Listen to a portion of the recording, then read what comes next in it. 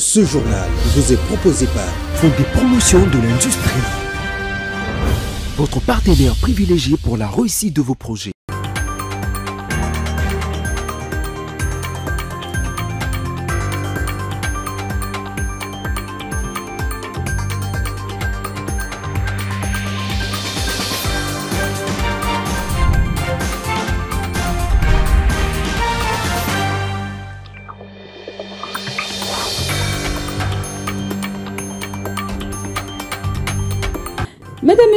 Bonsoir et bienvenue dans cette édition de journal de la PIT Télévision, mais avant tout, place au sommaire. Jean-Jacques Mamba est devenu rebelle. L'ancien député national a adhéré à l'Alliance Fleuve Congo de Corneille. Il a fait euh, cette annonce ce lundi depuis Bruxelles. L'Union européenne est complice au sujet de la guerre d'agression rwandaise en RDC. Les cardinals Fridolin Ambongo, qui le déclarait euh, n'est pas comprendre le fait que l'Union européenne euh, signe des accords avec le Rwanda. Et enfin, question euh, de femmes dans ces journaux, les règles douloureuses peuvent conduire l'infertilité si elles ne sont pas bien prises en charge. Comment détecter qu'on en souffre? Quel remède efficace Un dossier à suivre avant la fin du journal, mesdames et messieurs. Euh, bonsoir et bienvenue encore une fois de plus. Il a choisi la voie de la rébellion. Les députés national honoraire Jean-Jacques Momba a décidé de rallier l'alliance Fleuve Congo de Corneille-Nanga. Il a annoncé officiellement ce lundi depuis Bruxelles son adhésion à ces mouvements politico-militaires lors d'une conférence de presse où il a émis de critiques sévères de la gouvernance de Félix Tshisekedi. On fait le point avec Nathalie Kanga.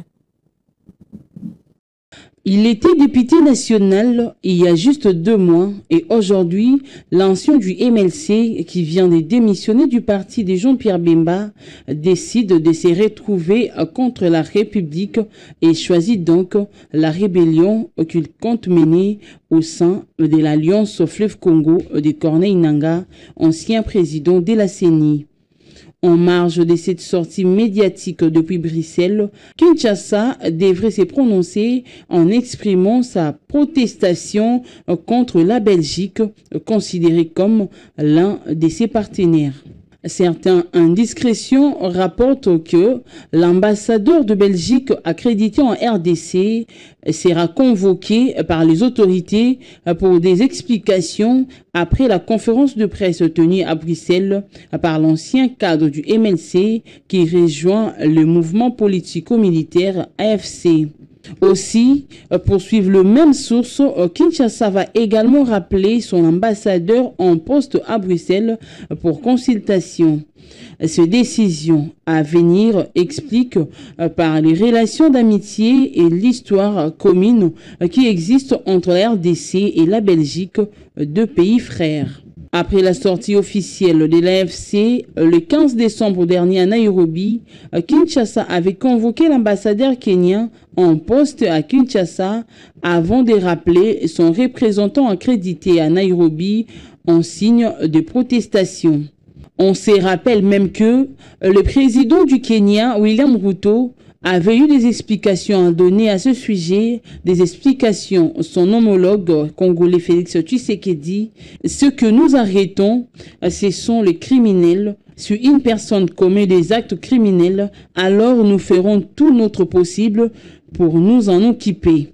Mais faire des déclarations, ça fait partie de la démocratie. Combien de personnes font des déclarations Il y en a tous les jours, dit-il. Euh, situation euh, sécuritaire préoccupante dans l'est de la RDC. Il en était euh, question dimanche lors d'une réunion à Windhoek en Namibie entre le président de la RDC, de l'Afrique du Sud, du Burundi et du Malawi. Le quatre chefs d'État qui se sont retrouvés sur place dans le cadre de funérailles du président namibien Angé Ngingob ont mis un point d'orgue sur la problématique de troupes de la SADEC euh, déployées euh, sur place. Euh, c'est Alain Goyi qui nous explique cela. Cet échange fait suite à une précédente rencontre entre ces dirigeants à Addis Abeba lors du sommet de l'Union africaine. L'objectif principal de cette réunion était de discuter des moyens d'y restaurer la paix et la sécurité dans la partie orientale de la RDC, une région depuis longtemps tourmentée par des conflits. Les pays représentés par ces chefs d'État ont tous contribué des troupes à la mission de la SADC. Leurs discussions ont porté sur les défis posés par les rebelles du M23 aidés par les Rwandais qui sont actuellement engagés dans des combats autour de la ville de Goma. Le président congolais Félix Tshisekedi était accompagné des deux figures clés de son cabinet, Jean-Pierre Bemba, vice-premier ministre de la Défense, et Christophe Lutundula des Affaires étrangères. Il faut dire que leur présence souligne l'importance que la RDC accorde à ces discussions. Entre-temps, les affrontements entre les FRDC et les terroristes du M23, soutenus par le Rwanda, se poursuivent aux alentours de la ville de Goma. Autre chose, euh, l'Église catholique de la RDC euh, dénonce le silence de la communauté internationale euh, face à l'agression rwandaise. Ce message a été lancé par le cardinal Fridolin Ambongo lors d'une messe d'action de grâce célébrée dans la cathédrale Notre-Dame du Congo. Il était question dans cette célébration eucharistique d'implorer la miséricorde de Dieu en rapport avec la situation euh, qui prévaut euh, dans l'est du pays. Euh, Sarah Mangoda.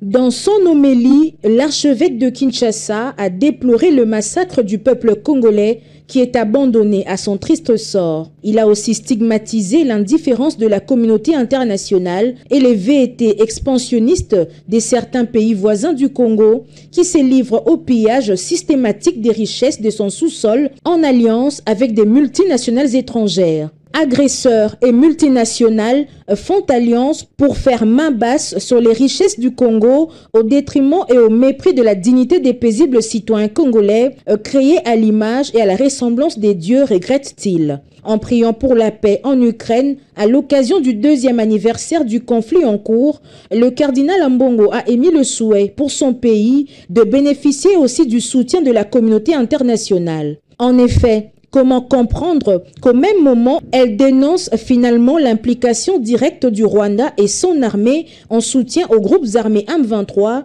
L'Union européenne signe un accord de coopération minière durable avec le Rwanda sur des ressources pillées en RDC. N'est-ce pas là un soutien appuyé à l'agresseur? N'est-ce pas là juger deux choses analogues avec partialité et selon des règles différentes? S'est interrogé l'archevêque congolais. Pour les cardinals Ambongo, le mouvement des protestations des populations congolaises de ces derniers jours est un signal fort pour la communauté internationale dans la mesure elle avise que le temps d'une telle complicité est révolu. Dénoncer l'agresseur sans arrêter les cycles de l'agression et financer la guerre par de tels accords est une stratégie de diversion, a-t-il dénoncé. En ces temps où l'intégrité territoriale et la souveraineté nationale sont mises à rude épreuve, l'archevêque invite la nation congolaise à l'unité afin de barrer la route à l'ennemi. Il exhorte les acteurs politiques à s'unir et à s'essouder autour du chef de l'État afin de travailler en synergie et de restaurer la paix. Le cardinal demande au président congolais, qui a placé son second mandat, entre autres, sous les signes de la paix, de s'impliquer sans relâche ni compromission à pousser les institutions du pays, les filles et fils du Congo, à travailler pour la justice et la paix et pour la réhabilitation de la nation dans sa dignité. La sécurité, ça se passe aussi à Kinshasa où la situation liée au phénomène Kuluna devient de plus en plus inquiétante euh, dans la commune de Massina, précisément euh, dans euh, le quartier 3, la nuit comme le jour. Ces bandits terrorisent la population dans une zone pourtant couverte par les éléments de la police. C'est un rapportage de Espoir Mbombo Persévérance Et Girodingoma.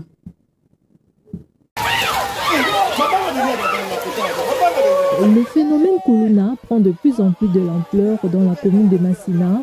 Ici, les deux principaux camps de ces brigands dictent leurs lois et terrorisent la population. L'un des habitants du quartier 3 en a été victime. Je sortais comme d'habitude puisque je suis vendeur. Je partais pour faire des achats. Je les ai rencontrés vers 4h50. Ils ont sorti des machettes et m'ont pris tout mon argent. Lorsque les Koulouna se battent, ils laissent des traces et dans la plupart des cas, la police est accusée. Ici, il y a une insécurité totale. Nos policiers ne font absolument rien. En cas d'urgence, ils n'interviennent pas en, en disant que s'ils arrêtent les Koulouna, les autorités les libèrent, qu'ils trouvent une solution ici. Les Koulouna dictent la loi.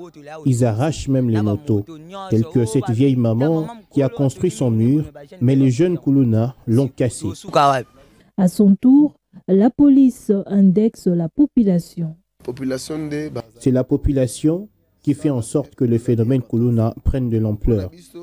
Pour nous, la police ou l'État, nous pouvons exterminer ce phénomène, mais nous devons travailler en collaboration avec le chef de rue et la population. Seulement, ces phénomènes est dû au manque de créativité par les jeunes eux-mêmes, estime un sociologue. Récupérer ces jeunes gens-là, préparer-les à des métiers. Non seulement ça, parce que parmi les Koulouna, vous avez aussi des diplômés de, du secondaire comme des universités, des instituts supérieurs. Il faut la création des emplois. Pour tout dire, cette situation rappelle le projet Kanyamaka CC est destiné à mettre fin à l'activisme des Koulouna, mais son impact tarde à se matérialiser sur le terrain.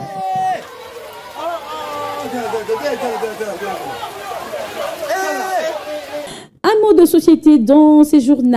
On reste dans la commune de Massina euh, pour parler euh, cette fois-ci de l'insalubrité quasi euh, indescriptible euh, qui la caractérise. Euh, C'est dans plusieurs endroits que l'on voit euh, même de maisons se faire envahir euh, par des immondices. Cette triste réalité inquiète au plus haut euh, point euh, les habitants de cette euh, municipalité. Euh, le Lamoussoko nous décrit, euh, nous décrit plutôt euh, la situation à travers ses reportages. Voilà le tableau que présente actuellement la commune de Massina. Aujourd'hui, cette municipalité peut être égalée à un dépotoir d'immondices. Au regard de l'image qu'elle dégage, des déchets de toutes sortes sont éparpillés ça et là, jusqu'à contraindre plusieurs habitants de plier bagages et aller habiter ailleurs. Craignant pour leur santé, malheureusement, cette misérable situation s'aggrave quand il plaît. La population n'a que sa voix pour crier au secours.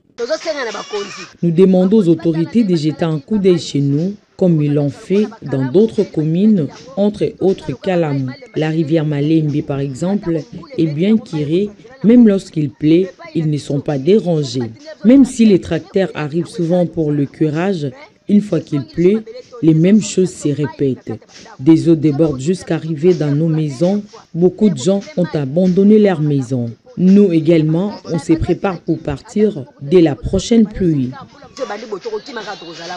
Une autre question à se poser au vu de cette problématique, c'est l'efficacité du projet Kinbopeto lancé par les autorités de la ville de Kinshasa ou encore l'opération Salongo. Si rien n'est fait dans les jours à venir, c'est la vie de la population qui mise en prix.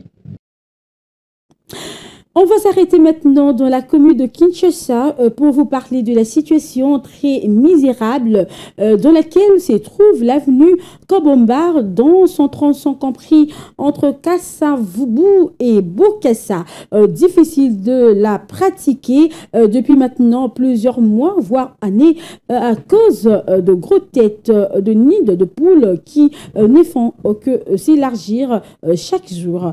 C'est un reportage de David Et Elfi euh, Sabanou et Bakirbaï le rêve.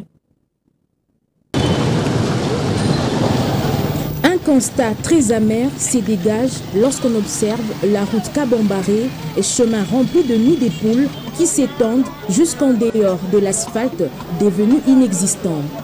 Ces difficultés mettent à genoux les conducteurs des motos qui font face au risque de tomber ou aux embouteillages. Surtout ici à Kabamba, la route est devenue impraticable. Il y a des camions et taxis qui s'abîment par des trous et des eaux. Mais auparavant, Kabamba n'était pas dans cet état. C'est à zéro mètre de l'hôtel de ville. Ces mêmes problèmes touchent aussi ces taximens qui expliquent comment son véhicule a été endommagé vu l'état de la route Kabambaré. Il y a beaucoup de difficultés. Je ne sais pas dans ce pays si les gouverneurs existent ou pas. Tel que je suis là, mon amortisseur vient de se casser. Ça peut être de la sorcellerie. Je ne comprends pas. Ça fait de cela une année. On dirait que le gouverneur ne réside pas à ce pays. Il a aussi connu ces mêmes chocs. Monsieur l'abbé Zéphirin, coordonnateur du village Bondeko, explique la peine que subissent ses élèves en traversant cette route délabrée. Ça nous dérange, ça nous bloque. Nous, ce n'est pas le village Bondeko seulement, mais nous, c'est pratiquement toute la population. Ceux qui ont des véhicules, ceux qui ont des motos, ceux qui marchent à pied, ceux qui traversent la route, il y a des trous. En somme, cette situation a tendance à se généraliser sur toutes les routes de Kinshasa.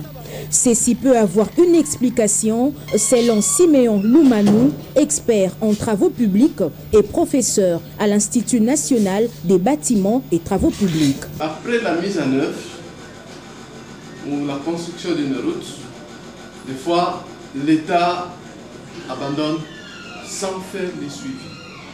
Parce que lorsqu'il y a naissance, l'existence d'une route, il faut continuer à l'entretenir. Si on l'abandonne, oui, donc après quelques temps après, parce qu'il y a les, agents destructeurs de, de, la route, notamment de l'eau, surtout avec le manque de systèmes d'assainissement efficaces, si les eaux stagnent sur la chaussée, donc notez que la chaussée n'a pas une. Plusieurs initiatives ont été mises en place par les autorités compétentes. C'est le cas du projet Chilegelou ou Kin Zero Tron qui visait à réhabiliter les routes. Seulement, ces projets demeurent sans suite favorable et les routes sont toujours dans des états de délabrement très avancés. À fait autre chose dans ce journal. C'est bientôt le mois dédié à la femme. On s'intéresse à l'une des maladies qui dérange l'univers féminin. Il s'agit de la dysménorrhée ou le reglet douloureuse. Plus couramment, plusieurs femmes sont inconscientes d'être porteuses de cette maladie qui peut conduire à de conséquences fâcheuses telles que l'infertilité. Comment euh, savoir quand on en souffre euh, Quel traitement approprié On en parle dans ces dossiers d'espoir Mbombo et Elfie euh, Sabanou qui ont rencontré un gynécologue. suivez. Des crampes excessives, des douleurs qui durent plus longtemps que d'habitude, des grandes fatigues ou encore des malaises, voici ce qui illustre mieux la dysménorrhée. Malheureusement, cette affliction a tendance à se généraliser chez la plupart des femmes. Ceci doit avoir une explication, selon Patrick Biakunzu, médecin gynécologue à l'hôpital Mère et Enfants. Tout douleur bas-ventre ne veut pas dire qu'il y a un problème ou qu'il n'y a pas de problème, je n'ai pas dit. Chaque femme, chaque fois qu'il peut remarquer qu'elle a douleur au bas-ventre, il doit automatiquement voir son médecin ou son gynécologue. Et celui-ci va essayer d'établir les liens qu'il y a entre cette douleur avec la pathologie sous-jacente par rapport à son problème. Bonne nouvelle, les règles douloureuses n'entraînent pas la mort selon ces docteurs. Non, je ne pense pas. On est allé trop loin par rapport à ça. Parce que bah, la mort, elle est partout. On peut, trouver, on peut avoir un palu et mourir. Même si les principes restent le même, soit une douleur liée au cycle menstruel, les symptômes peuvent être différents selon les types de dysménorrhée. Une femme qui a des dysménorrhées, il y a l'inconfort ça influe sur le comportement, ça influe sur le bien-être. On est, on est, mal à l'aise, on ne sait pas rester avec les autres, on, est, on, est, on a une prostration, on est au lit. Et cette douleur-là, chez certaines femmes, qui peut même entraîner l'hypotension chez d'autres, c'est là où le médecin doit intervenir pour enrayer la douleur. Par ailleurs, il faut mentionner que son traitement est adapté en fonction de l'intensité des symptômes et du ressenti de la douleur. Si et seulement si le médecin arrive à vous dire que votre elle est simplement primaire. Il y a euh, les acides méphénamiques qu'on peut prendre, entre autres que chez nous, c'est le meftal, le meftal space et autres. Il y a l'ibuprofène qu'on peut prendre à des doses ponctuelles pour enrayer la douleur. Là, c'est quand il n'y a pas un autre problème surajouté à votre dysménorrhée. En somme, la dysménorrhée peut entraîner de l'infertilité lorsqu'elle dure longtemps. Et si cela n'est pas bien pris en charge, elle peut conduire à des tourments ou des malaises qui ne cèdent pas avec les traitements classiques. Euh, parlons aussi de cette innovation, c'est officiel. Les demandes d'immatriculation de véhicules s'efférant euh, désormais en ligne. La remise gratuite de cartes roses pour ceux euh, qui ne les ont jamais obtenues est prévenue à partir du 1er mars. C'est ce qu'indique un communiqué du ministère de Finances. Le ministère de Finances informe les publics qu'il a mis en place un logiciel de demande des plaques d'immatriculation de véhicules. Ce logiciel permettra aux requérants de soumettre leur dossier en ligne et de payer sans besoin de se rendre physiquement à un bureau de la Direction générale des impôts. Ainsi, à partir du 1er mars 2024, toutes les demandes relatives aux opérations d'immatriculation des véhicules devront désormais s'effectuer en ligne à travers les liens suivants. https dgi-immatriculation.cd en outre, à partir de cette même date, il sera procédé à la remise gratuite des cartes roses à tous les propriétaires des véhicules qui ne les ont jamais obtenues. À ces sujets, il leur suffira de faire une demande à travers les liens Internet suivants https dgi-carterose.cd. Cette procédure informatisée a l'avantage de simplifier les démarches d'obtention des plaques d'immatriculation des véhicules, notamment en raccourcissant de manière substantielle les délais de traitement des dossiers par les agents de la Direction générale des impôts. Pour toute information complémentaire sur l'utilisation de ces logiciels, contactez les centres d'appel du ministère des Finances au numéro suivant plus 243 99 60 81 775 plus 243 96 60 81 774 et par WhatsApp plus 243 85 039 66 30 fait à Kinshasa le 16 février 2024. C'est communiqué et signé par Nicolas Kazadi Kadima Nzoji, ministre des Finances. Euh, suivons à présent ces communiqués de la Direction générale de recettes administratives euh, judiciaires, euh, domaniales et de participation des GERAD qui invite les opérateurs économiques assujettis aux taxes rémunératoires annuelles. Et pollution à procéder sans tarder à la déclaration des éléments d'assiette taxables plus tard le 31 mars 2024 au retrait de de perception y afférente. Le secrétariat général de l'environnement et développement durable et la direction générale des recettes administratives, judiciaires, domaniales et des participations des GERAD informent les opérateurs économiques exploitant les installations classées de la catégorie 1A assujetties aux taxes rémunératoire annuelles et des pollutions des procédés sans tarder à la déclaration des éléments d'assiette taxables au plus tard le 31 mars 2024 et au retrait des notes des perceptions y afférentes au centre d'ordonnancement de la DGRAD auprès de la direction des établissements humains et protection de l'environnement du secrétariat général à l'environnement et développement durable en face des cliniques quinoises dans la commune de la Gombe.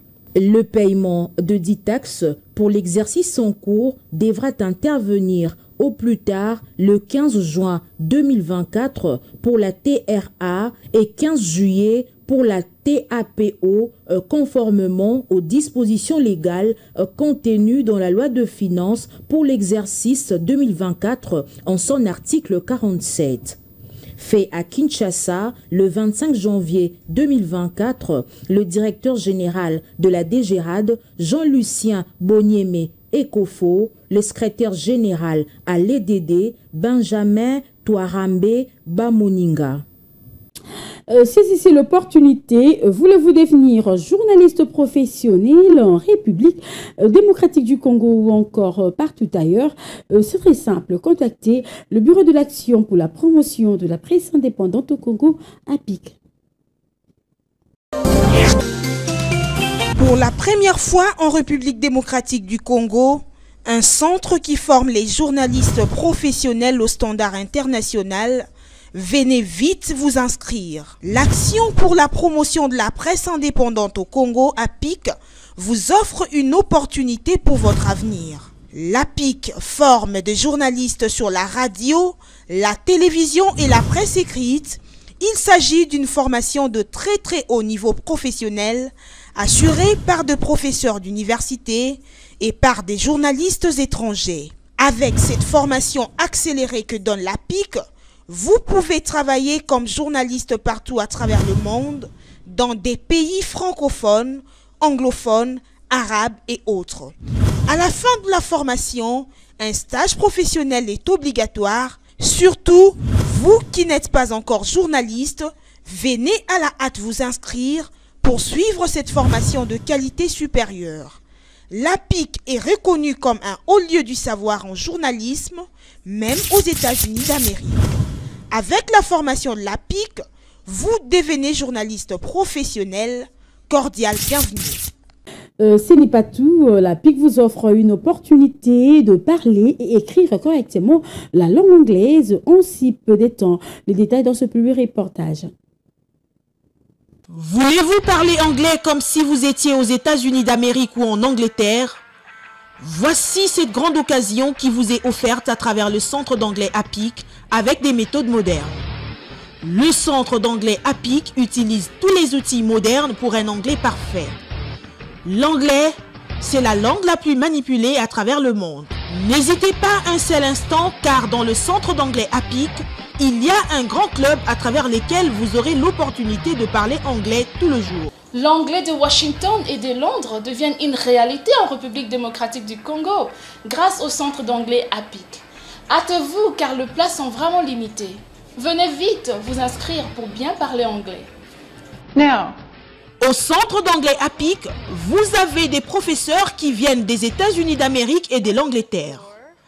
Parler anglais, c'est garantir votre vie et celle de vos enfants. N'ayez pas peur car le centre d'anglais APIC assure une formation de très haut niveau. Refuser d'apprendre l'anglais, c'est refuser même de vivre. My last name is Stone. Ok. Si vous ne parlez pas anglais dans le monde actuel, vous êtes presque un analphabète, s'il vous plaît. Venez vite vous inscrire dans les centres anglais à PIC. Vous allez parler anglais dans quelques mois seulement. What are you going to do tomorrow? I'm going to go play volleyball at the beach. Vous êtes docteur d'État, doctorant, licencié, gradué, diplômé d'État. Venez apprendre l'anglais des affaires au centre d'anglais à PIC. L'anglais, c'est votre passeport pour les voyages à travers le monde. Ne pas parler anglais aujourd'hui, c'est devenir sourd-muet, surtout lorsqu'on voyage. Venez vite vous inscrire pour parler anglais. Ne pas s'inscrire au centre d'anglais APIC, c'est creuser sa propre tombe.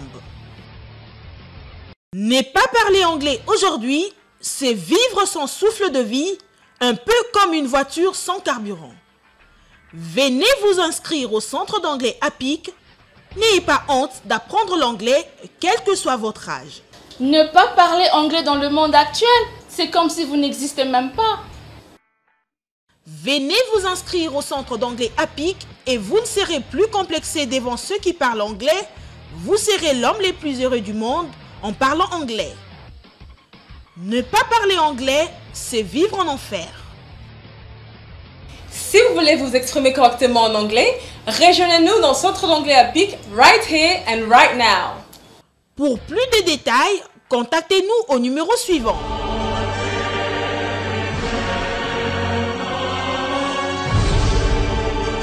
Cordial bienvenue au centre d'anglais à PIC. L'anglais, c'est la vie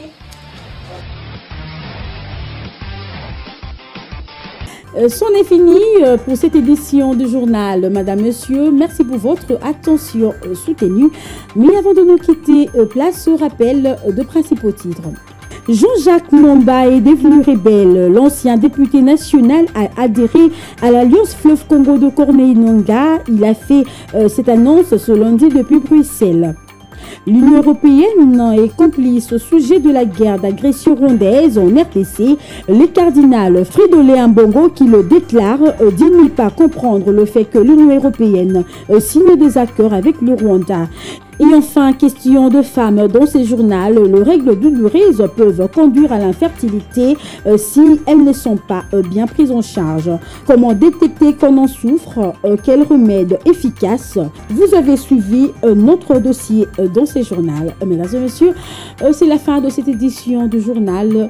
merci à tous de l'avoir suivi et restez toujours branchés sur la chaîne Happy Télévision.